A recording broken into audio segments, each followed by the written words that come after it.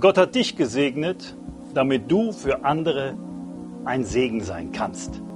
Weißt du, die Bibel sagt, ihr aber seid Christi Leib und einzeln genommen Glieder. Wir als Christen sind der Leib Jesu. Das bedeutet, dass wir diejenigen sind, die Gott hier auf der Erde gebraucht, um die Werke Christi zu tun. Wir sind sein Leib. Im übertragenen Sinne, wir sind seine Füße, wir sind seine Hände, wir sind seine Augen, wir sind sein Mund. Er wirkt durch uns und zwar nur durch uns. Er hat sich einfach hingegeben, indem er uns das Vorrecht gibt, ähm, die Werke Gottes zu tun. Er will durch uns wirken. Wenn wir nicht dazu bereit sind, wird nichts geschehen.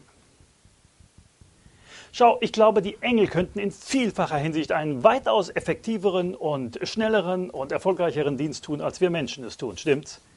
Sie könnten innerhalb von kürzester Zeit größte Erfolge er, äh, erreichen. Aber schau einmal äh, in der Apostelgeschichte beim Hauptmann Cornelius. Der Engel, der dort in der Geschichte erscheint, hat nicht das Recht, Cornelius das Evangelium zu verkündigen, sondern nur das Recht zu sagen, ruf Petrus, Petrus kann dir den Weg zum Heil sagen.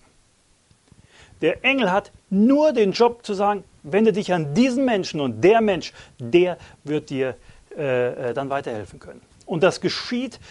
Petrus verkündigt Cornelius in seinem Haus das Evangelium und es geschieht ein großes Wunder, die bekehren sich, der Heilige Geist fällt. Der Engel hat nicht das Recht, das Wort weiterzugeben. Gott hat sich an uns verpflichtet. Er hat uns dieses Vorrecht gegeben und wenn wir es nicht tun, wird es nicht getan werden.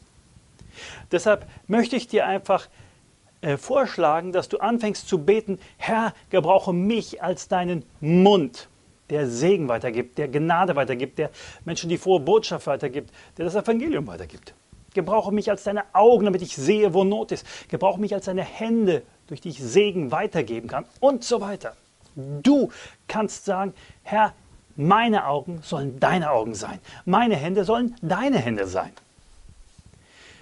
Ich glaube, dass das etwas ist, was uns wirklich auszeichnet als Christen. Christus lebt in uns und will durch uns wirken. Aber wir müssen es zulassen. Wir müssen dazu bereit sein. Wir müssen uns aufmachen. Wir müssen vorangehen und wir müssen vor allen Dingen dem Herrn diese Möglichkeit geben, durch uns zu wirken. Ich glaube in dem Sinne, dass du sehr, sehr viel zu geben hast. Dass du sehr viel für andere Menschen hast. Weil es ist nichts, von, was von dir kommt, sondern was von Gott kommt und durch dich hindurch fließt zu diesen Menschen. Öffne dich für das Wirken Gottes durch dich.